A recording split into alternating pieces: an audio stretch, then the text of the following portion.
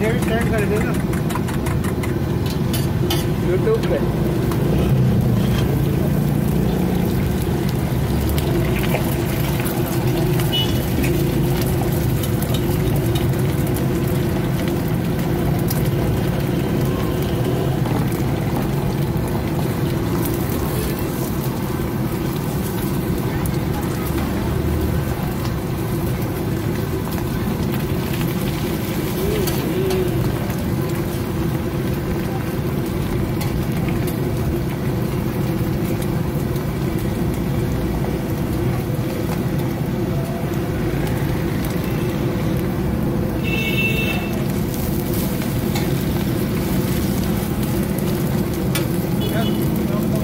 mình nữa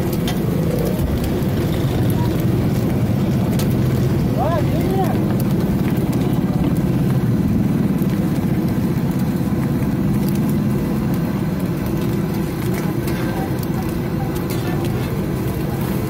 subscribe